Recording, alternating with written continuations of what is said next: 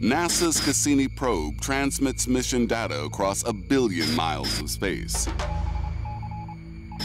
When it passes 700 miles above Saturn's moon Enceladus, project investigator Michele Dougherty can't believe what she sees.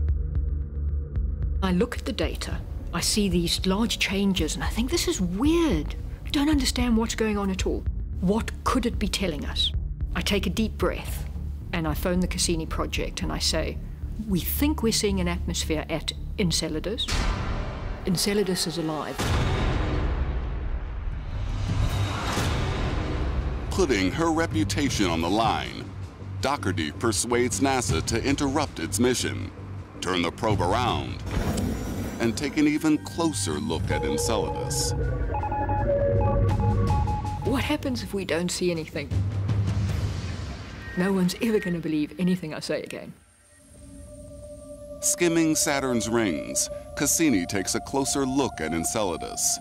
The images it sends back are astonishing. Enormous plumes of liquid water spew out of a moon that should be dead. The plumes that we're seeing at Enceladus are huge. Half the size of the moon itself. It validates the decision that we made to go close and really give us a new discovery that no one actually thought was ever going to be there. So it's really cool. The sensational discovery hits the world's headlines. But planetary scientists are baffled by the giant liquid plumes.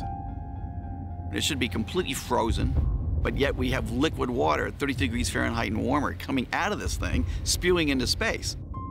Something or someone is heating up a moon that should have frozen to death millions of years ago.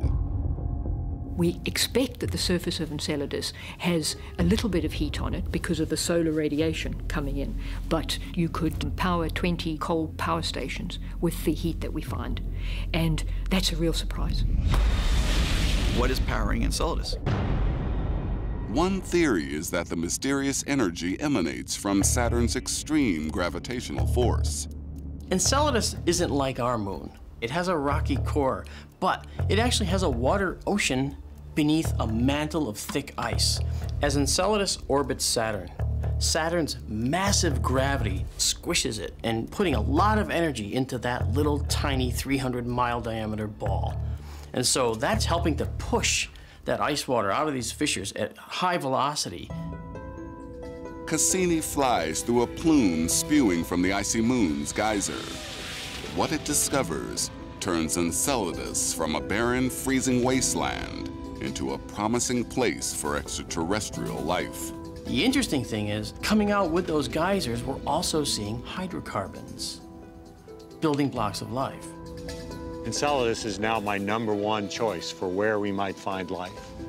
If you find liquid water, you can start to talk about the possibilities for perhaps finding some kind of alien life beneath the, uh, the surface of Enceladus.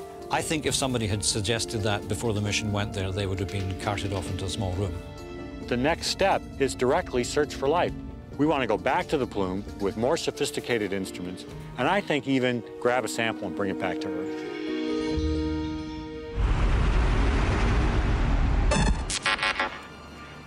July 2013. Goddard Space Center, the headquarters of NASA's SOHO Solar Observatory. Its mission, to keep an eye on our fiery star. The SOHO project is an early warning system about new phenomena which could have an impact here on Earth. Scientists monitoring the satellite feeds see something extraordinary. A gigantic shadow creeping across the sun, a 500,000 mile wide hole. As NASA struggles to assess the threat, the dramatic images fuel a storm of speculation. This was weird. We don't know whether that was artificially induced on the sun. It's as if aliens had scooped the surface. Whatever the cause, the results could be catastrophic for us. So here we are on Earth living our normal lives, and there's a disaster movie going on on the sun.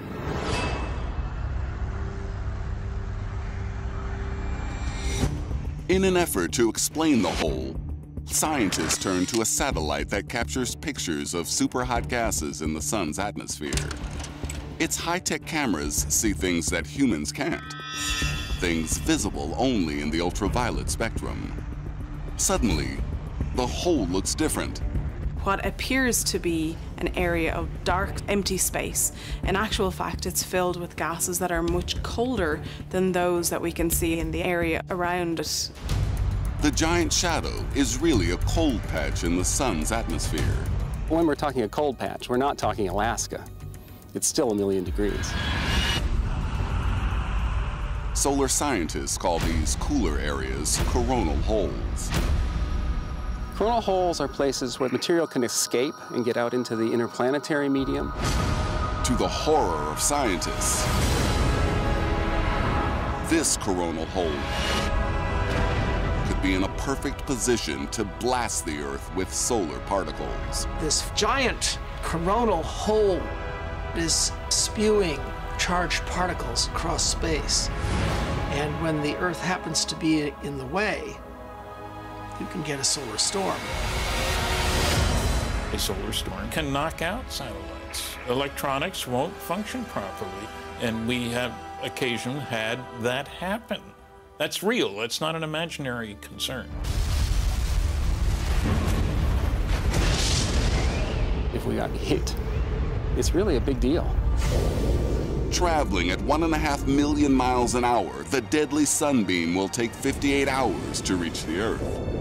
When it hits, the first sign should be a spectacular light show at the Aurora Borealis as the planet's magnetosphere fights to protect us by absorbing the energy of the bombarding particles. July 20th, 2013, two and a half days after scientists first spotted the hole, the northern sky erupts with flashing colors. Could this be the opening act in a global meltdown? The awesome display lasts for two days,